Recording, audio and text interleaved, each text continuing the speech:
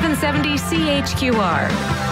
Moving forwards using I love about uh, visiting with Dr. Axel Moehrenschlager of the Calgary Zoo as we learn how we are connected to the world through our zoo in so many different ways. Some of the creatures are neat and impressive. The hippos, I know, in uh, in Africa that we've been involved with for many, many years. That's cool to see. Hippos, you can immediately say, yeah, it's a cool animal, and we're helping them in the wild. How about geckos and skinks on Christmas Island? Dr. Axel joins us this morning to talk about that. Good morning to you. Good morning. You love geckos and skinks as much as every other creature, don't you? They're Oh, absolutely. They're important, aren't That's they? That's exciting. Chris, I keep getting Christmas Island mixed up with Easter Island. This isn't with the big heads on it, right? No, no. Oh, that's with the little elves that make toys. Everybody knows that. Yeah, the toys are, you know, elves are a huge problem for skinks. That's it. Yeah. We'll talk about the elves another day. But in this case, how are we helping in that part of the world? Yeah, so uh, it's a, in a roundabout but very powerful way. It's through an organization called the IUCN, the International Union for the Conservation of Nature. And it's the most powerful organization environmentally in the world. It's headquartered out of Switzerland. It's the only environmental group that actually has a seat at the United Nations. It's actually the one that gives us the criteria by which we evaluate in Canada whether species are threatened or endangered or of special concern here as well. And so uh, with the IUCN, I have the privilege of chairing a group called the Conservation Translocation Specialist Group, which looks at how to bring species back that have disappeared from certain places. All right. And so uh, this has now just, you know, exerted itself in so many ways. The techniques that we use are being used for thousands of species all over the world. So even on Christmas Island or on tigers in Cambodia. Like just imagine, for instance, okay, I'm going to put you in the hot seat.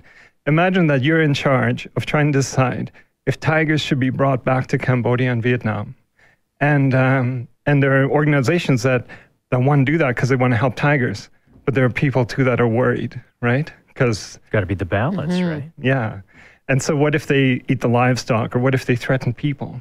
So, within the IUCN, we've developed guidelines um, that help you basically assess how that's done. And those guidelines are incorporated now into government policy all over the world, even in Canada.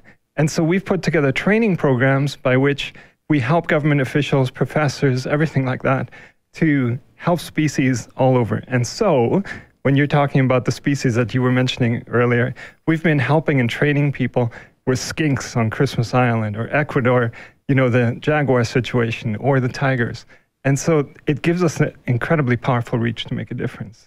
How how do you decide which of these animals are the ones that you need to focus on then?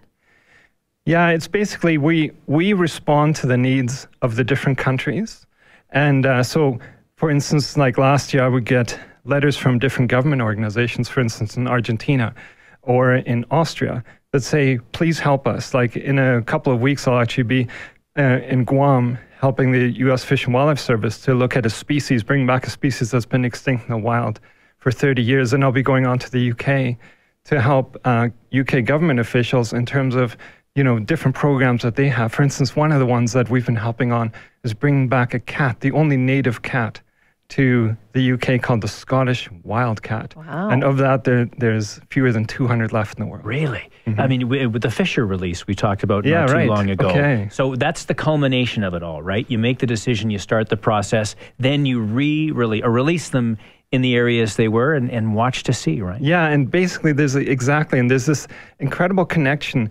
The, the support of the community here in Calgary has allowed us to help many Canadian species, right?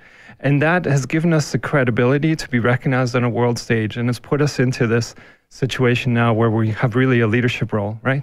And that now brings us back home again, gives us even more credibility here. So when we can tell the story here about our role here, about the world, uh, you know, internationally and how we help, that's an in- incredibly powerful synergy. It's a powerful synergy. Uh, great to have you in. We brought you in here for a couple of reasons. We love to visit, of course, on our monthly zoo newses, but also it's the last time we're going to have a chance to chat with Trish Exton Parder. Speaking of spreading the word, she has been the, the zoo girl, if you will, for the last 30 years at the Calgary Zoo. Way back when you were just Trish Exton, and then you became Parder. Uh, but you have been a stalwart at the zoo in so many different capacities, but sharing the love. There's a picture, I think, still on your desk of you. How old were you looking up at the giraffes that your dad took, I think, uh, of the zoo? Yeah, I was about four. holding my years old. granny's hand, and it was the old large mammal building. And uh, yeah, it was just the early days of visiting the zoo with Was family. that where the magic began for you, do you think? probably where it all began. Did I know back then?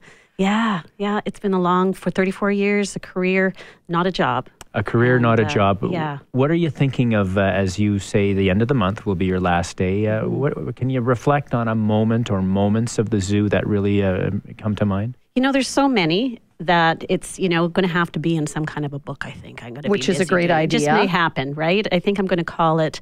Um, There's a bongo at my window, so stay tuned for that story. True story. Um, but you know what? It's uh, to, to be in communications and find an organization where you have powerful stories to tell. That's the secret.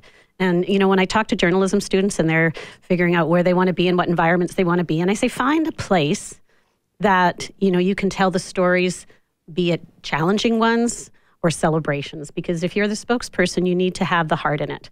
And i've been so fortunate to be that person for so many years to be able to bring in people like axel our keepers our veterinarians um, our event coordinators and, and have those folks up front and center to talk about what's happening at the zoo.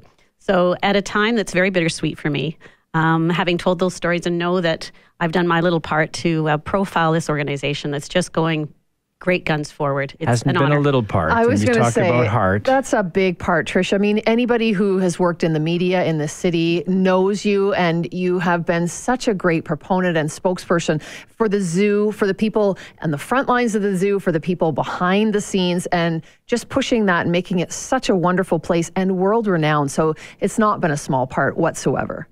Well, thank you. And you know, it's I've always hung on to the media relations part of this job, and um, you know, I think it's understanding the good work that you guys do to help us spread that. That that it's relationships, right? Like re- we all have these great relationships, and that's what it's all about. You've made it easy And, for uh, us. And it's all about the cake too. So we Yeah. have a Oh, special my little goodness. presentation for you. Uh, take a look at this.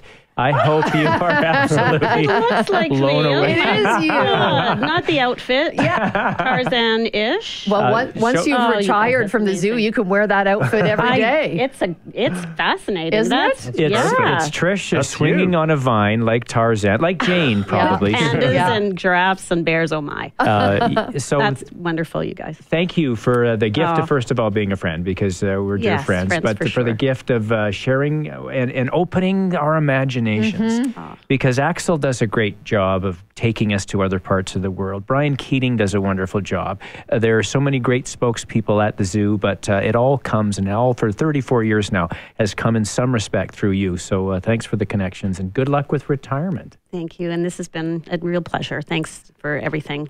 Uh, It, it won't you be guys. goodbye. We'll, we'll. No. perhaps be tracking you down and harassing you to come and chat with us another time please for do. for any kind of topic. So I'm because gonna we vanish. love we love talking to you, and you you're just you're such a pleasure to have around. So thank you so much for everything. Thanks. Thanks for Axel, we'll have to book you with somebody else for next month. but we look forward to that. We'll find a coming up. way. we'll find a way. Uh, thanks for both coming in, and congratulations again, Trish.